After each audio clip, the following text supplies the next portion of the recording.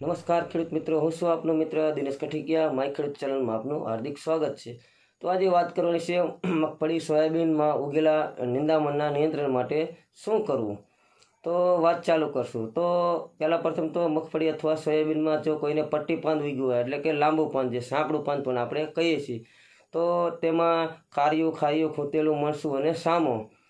જે ખડ ઉગ્યું હોય, તેમાં તમારે દવા કદાચ છાંટવી હોય તો તેમાં તમે પહેલાં પ્રથમ તો ધર્મત ક્રોપ ધર્મત કંપનીનું આવે છે જે સદાવીરામાં આવે છે તે પણ તમે છાંટી શકો છો. તેનો છાંટવું હોય તો આયલ કંપનીનું હકામાં આવે છે. એ સિવાયનું બીજું તમે જુઓ તો ધાનુકા કંપનીનું ટરગા સુપર પણ આવે છે. અને બીજું અદામા કંપનીનું એજેલ પણ આવે છે. તો આ ચારમાંથી કોઈ પણ એક દવા તમે લઈને તમારા મગફળી અથવા સોયાબીનમાં જે ઉગેલું લાંબા પાનનું જે પટ્ટી પાનનું આપણે ખડ કહીએ છીએ, તે તમે મારી શકો છો.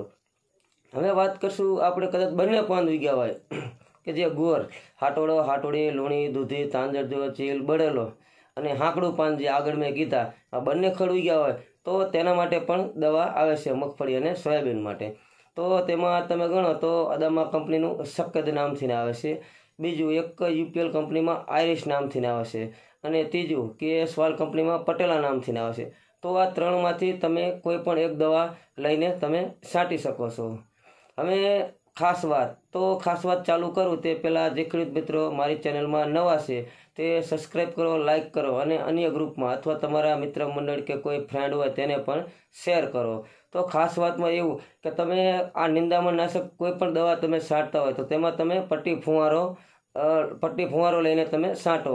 હવે ઘણા ખેડૂત મિત્રો, એટલે કે નેવું ટકા ખેડૂત મિત્રો એવા હોય છે કે જે ગોર ફુવારો જે ગોર થતો હોય, તે ફુવારેથી દવા છાંટે છે. એટલે એમાં બને છે એવું કે રિઝલ્ટ બહુ આવતું નથી અને રિઝલ્ટ કદાચ આવે, અમુકને ન આવે, એટલે રિઝલ્ટ તેમાં બહુ જામતું નથી. તો તમે તેમાં પટ્ટી પાન પટ્ટી ફુવારો જે આવે તે તમે વાપરવાનો આગ્રહ રાખો, એટલે રિઝલ્ટ સારું મળે.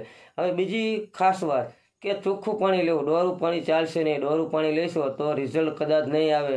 અને કદાચ કોકને અધકચરું પણ આવશે.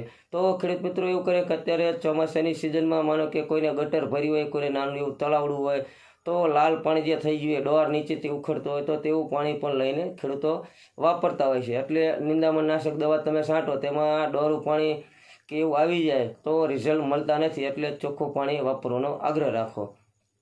ત્રીજી વાત કે આ પાક કે જે વીસથી પચીસ દિવસનો થઈ ગયેલો હોવો જોઈએ. વીસથી પચીસ દિવસ પછી તમે છાંટો તો વધારે સારું. હવે બીજી એક વાત કરું કે આ તમે જે દવા તમને કીધી તેમાં તમારે મગફળી અથવા સોયાબીનમાં ભેજ હોવો જરૂરી. જો ભેજ પૂરેપૂરો તમારા પાકમાં નહીં હોય, તમારી જમીનમાં નહીં હોય, તો રિઝલ્ટ મળશે નહીં. કદાચ ન મળે અને ન પણ મળે અને ઓછું પણ મળે, કદાચ અચકચરું પણ મળે. તો ભેજ હોવો પણ જરૂરી છે. હવે વીડિયો આગળ નહીં લઈ જતા વીડિયો અહીંયા હું પૂરો કરીશ. નમસ્કાર.